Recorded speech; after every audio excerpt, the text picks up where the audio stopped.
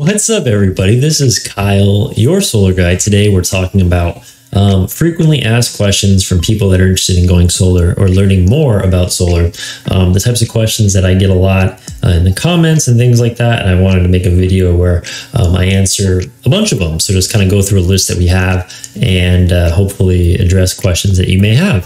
And one of the things, too, is I'm not I wanted to answer it from a uh, an honest, like a, a, a, guy who works in solar, like a solar guy's perspective, without uh, giving you the additional like sales spin that you might get if you were to talk to people uh, on the phone in your local community and things like that. Because obviously, if you reach out to someone who you know that's professional and they sell solar, um, you you don't want that the conversation necessarily get awkward uh, if you're just looking for the information. So that's the kind of a deal with this video uh, is to hopefully give you uh, my personal opinion and perspective on a lot of the, the, kind of intricacies and the details uh, of going solar, and hopefully you find it helpful. So let's let's get to it. So number one, number one uh, most asked question uh, for first time solar seekers is how does solar work? So on the technical side, I actually have a video that talks about how like the panels work.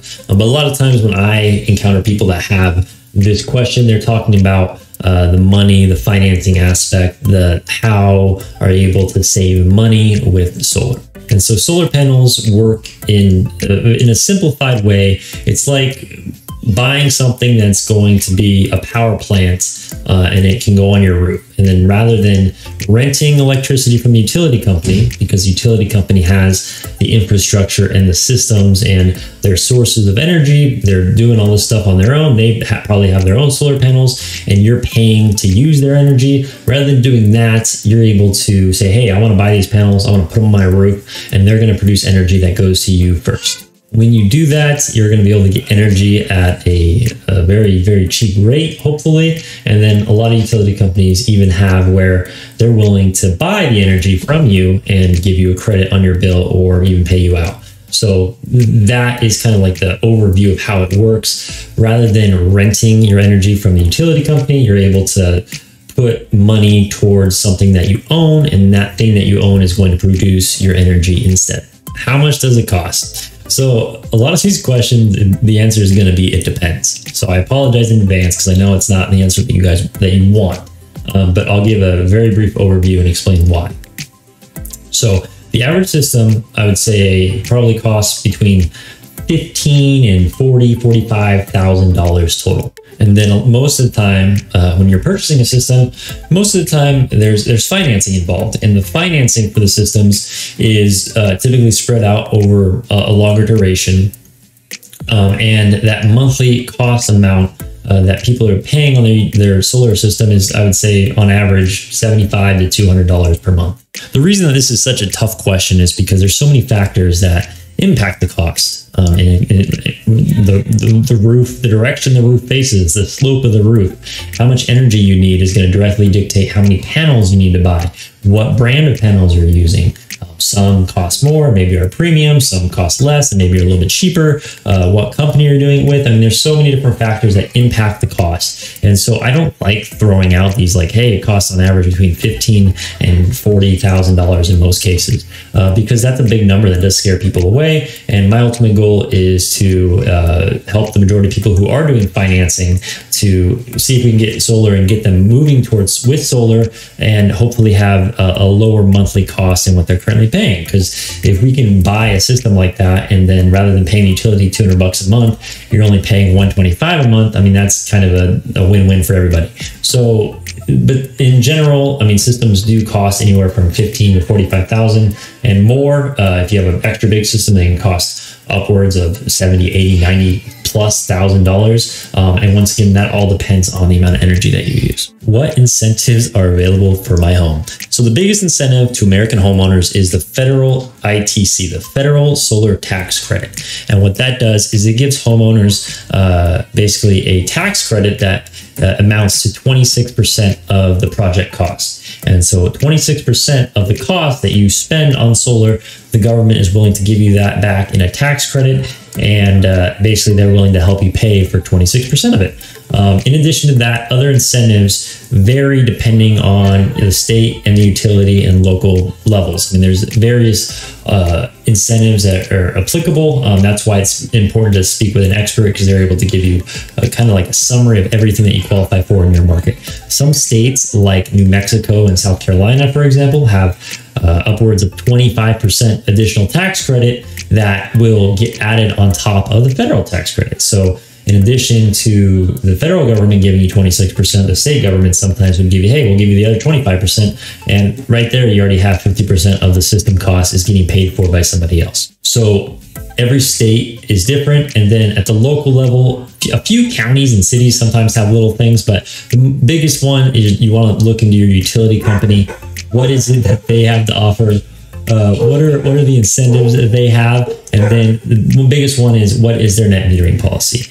Are they willing to pay you for the energy that they're buying back from you? Because that is going to impact uh, your monthly costs and the total monthly uh, bill that you're either getting or not getting from the utility company. What size solar system do I need for my house?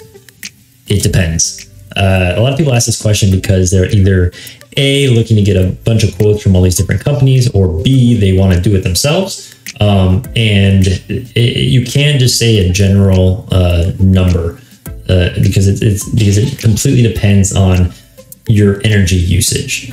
How much energy do you use? Because that's going to dictate um, how productive and how efficient eight panels is going to be. If you have eight panels on a house with someone that doesn't even like turn the lights on, uh, that that might be enough for their house. But for people that use a lot more electricity, uh, they're going to need a much larger system. So the size of the system does fully depend on uh, your electricity usage, and then occasionally there's a few uh, other factors that might kind of make a smaller system better in very rare circumstances. But that is the answer is that it does depend, uh, it, it depends on how much energy you use. Why do solar companies need to see the bill? So the reason solar companies need to see your utility bill is because that is the easiest way for us, for solar professionals to get the information that we need to give you an exact quote.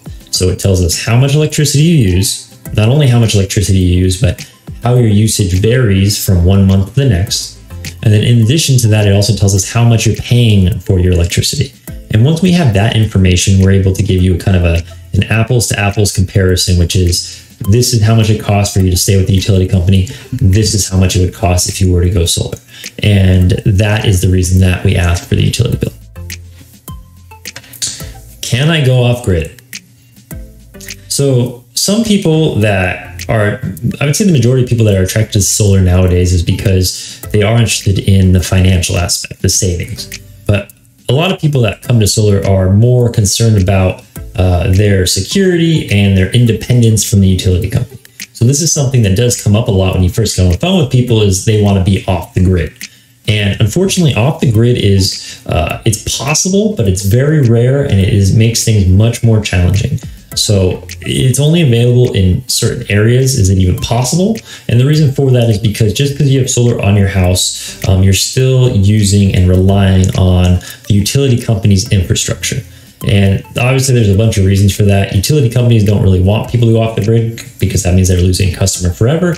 Um, and then also, just from a comfort and a security, it, it helps so that, for example, if you have solar panels and it's nighttime, your solar panels aren't producing energy, you want the grid to be able to go there and buy electricity when uh, your panels just aren't producing enough. So, is it possible to go off the grid? Yes. Is it easy? Not really. Another thing to consider also is that a lot of people that want to go off the grid are doing it because they're really just concerned about um, power outages for blackouts. Um, and one of the things you're able to do is purchase battery systems and battery units, which have become much more popular in recent years, mainly due to Tesla and the Tesla Powerwall kind of entering the market. Battery units will help you to uh, keep the lights on when there are blackouts but you are still reliant on the grid. So just because you have a battery installed, it does not mean that your house is going to be off the grid. Um, you're still tied to the utility and their infrastructure. Does my roof get damaged? So the answer is it shouldn't. Um, obviously, accidents happen, and Um, there are some uh, companies that maybe are better at installing than others, um, but most of the time the, the roof is it shouldn't be damaged and there's an additional warranty that covers any damage to the roof for not only uh, the immediate future for about for a few years after the installation takes place. So the answer to that is the installation itself will not hurt the roof. And then one thing that other people don't even realize is uh, getting solar onto your roof will actually do a better job of protecting your house, protecting your roof um, during natural disasters and things like hurricanes. Uh, I have photos that I send to people all the time that are like, uh, a hurricane came through and there's these houses these houses are completely demolished and destroyed and it's missing the roof and everything looks awful except for the one portion of the roof that had solar panels. So the solar panels are, are very secure they're very strong.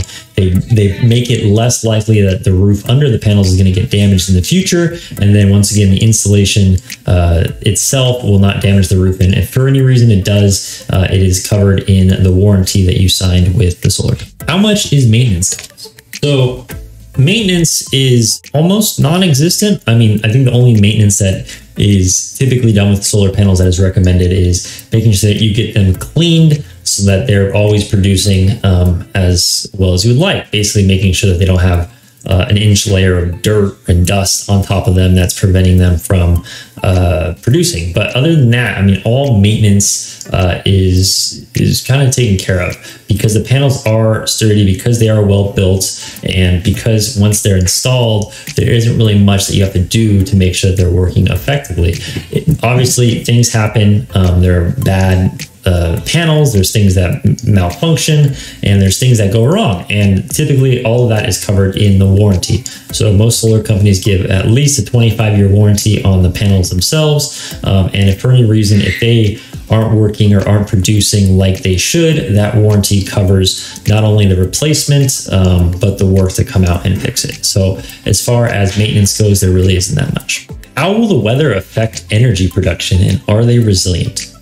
So the weather does affect energy production, but it doesn't affect it as much as some people think. And the reason for that is because obviously solar panels work best in direct sunlight, beautiful day, no clouds in the air. Like that's that's how they work best. But even on cloudy and foggy days, um, the light that gets through the clouds and that's reflecting off one thing or the other, that still goes to your panels and they are able to still produce the energy. And then the second part of that question was, are the panels resilient? Uh, they're incredibly resilient. I tell people this all the time. One of the things that a lot of people don't realize is, yes, they're made like everyone calls them like it's glass, like oh, it's glass on the roof. Um, but they really, really are sturdy and strong. I've seen 250 pound guys uh, like jump on them with the purpose of trying to break panels, and they are unable to do so. And that is something that uh, a lot of people don't realize they aren't fragile. They're very strong. They're very sturdy, and they're very resilient. So once again, going back to that, the example earlier, which was about a hurricane, um, things like uh, I mean, balls hitting it, rocks hitting it, hail hitting the panels. It, it typically is not going to be something that you ever need to worry about. Um, and if it is, then once again, the warranty hopefully would cover it. Will solar power prevent power outages? No. So solar pa- solar panels will not prevent power outages unless you uh, install and use uh, battery storage systems. And even when you're using battery storage systems, um, they a lot of times you're you, you have power for your house, you're able to keep the lights on, but depending on the size of the battery, you may or may not be able to run all the, the biggest appliances that you're used to running. So it, it does it will be able to help you in in those times when uh, keeping the lights on and keeping the minimum stuff running and kind of light operational. Uh, solar can't do that. Solar with batteries can, but there is limitations as far as if you're have a, a Bitcoin mining situation in your basement that uses a ton of electricity, uh, the batteries might not be able to power that. Or if you're trying to run the dishwasher and the washer and dryer at the same time, uh, batteries might be limited in their ability to, to power that. But solar panels themselves do not uh, prevent blackouts. How long will my system last? So, we're uh, systems are they last quite a while. And so the warranties themselves for the panels uh, guarantee their production over at least 25 years. Typically, there's even some, and you can ask for an extended warranty that might go up to 30 years. Um, and so that's kind of the, the minimum that you would expect the panels to last is 25 to 30 years. Um, but the answer is really we're not 100% sure because solar panels haven't really been around that long. We haven't had solar panels, uh, or very few solar panels that have been sitting out for 30 plus years um, to let us know eventually whenever it is that they die. Um, and so my what I tell people is the warranties are good for 25 to 30 years. In my personal and professional opinion, I would expect them to last much longer. Their usage and their effectiveness is going to deteriorate, but there are panels that the first solar panels that were ever installed, like back in the 1980s, are still up and running. They're still doing fine. And solar panels nowadays are so much better that I would expect them to last a very long time. Can I install solar panels myself?